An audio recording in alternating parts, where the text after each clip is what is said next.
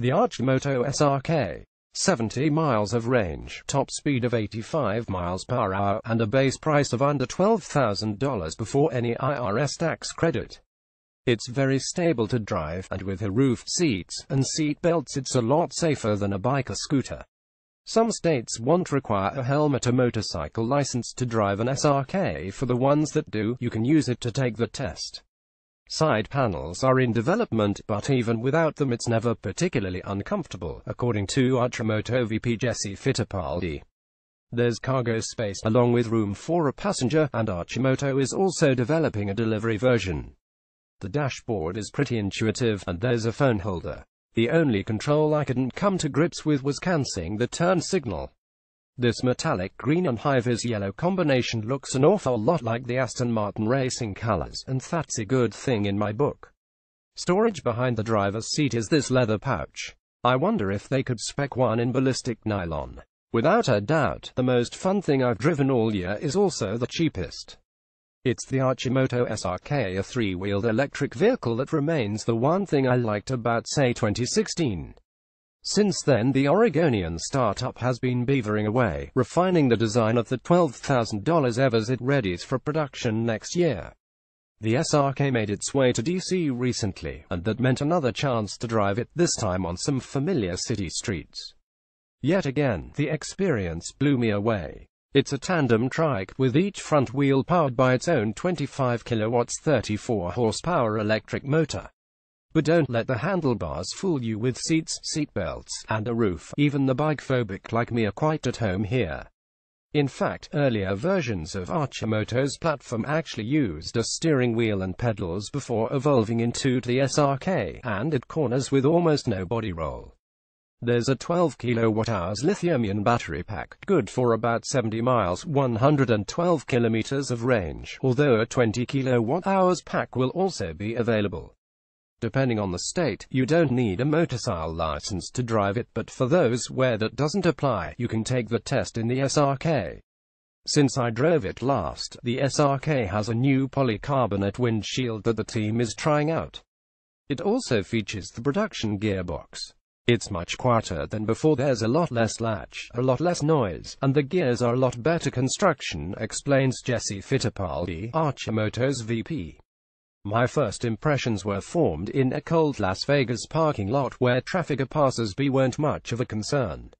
Out in the real world, traffic isn't an issue either. It's very nimble and more than quick enough. 060 mph in 7.5 seconds is plenty faster than a Nissan Leaf and almost as quick as a BMW i3. The Archer Arcimoto's top speed of 85 miles per hour 137 kilometers per hour is more than enough. But it's still a slightly surreal experience driving it on city streets because the SRK is almost as attention-grabbing as a McLaren 570S. Pedestrians and other drivers frequently stop to ask questions, and the trike was a big hit with a high school crowd. The fact that it appeared to meet with so much acceptance from the general public gives me hope. The SRK reflects an affordable kind of electromobility for the coming years, and that's something we still see all too little of.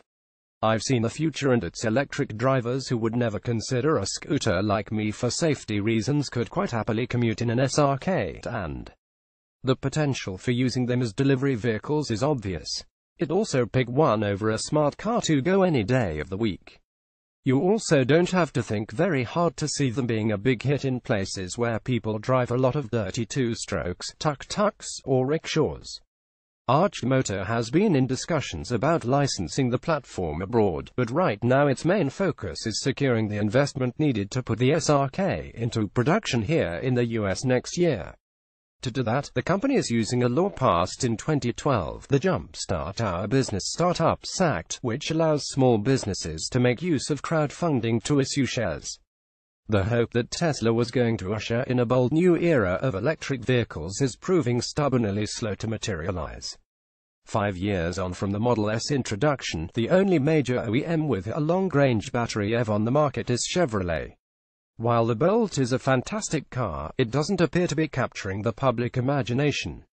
Other OEMs have models in the pipeline Porsche and Audi are both very keen to try and undo some diesel-flavored bad karma and Jaguar has the I-Pace electric SUV in store, but all those are still more than a year away. Volvo looks like it's catching electric fever, with plans for five new battery EVs in the works. Mazda and Toyota are joining forces to develop new EVs and both BMW and Mercedes-Benz have somewhat vague plans for new all-electric vehicles. None of those are on the road yet either. Meanwhile, Tesla has done more than just light a slow-burning fire under the traditional automakers. It has inspired plenty of new EV startups, to the point where I think Sniff Petrol might need to create an EV version of its rather funny boilerplate press release for new supercar makers. But for the good of a diverse ecosystem, I'd like it if some of these other EV startups make a proper go of it. I'm not too worried about the EV hypercars from outfits like Rimac or NIO most of us will never encounter the hand-built low-volume vehicles they create. But an Arcimoto would be in reach for a much bigger audience, even before the IRS EV credit cuts its price by more than half. Listing image by Jonathan Gitlin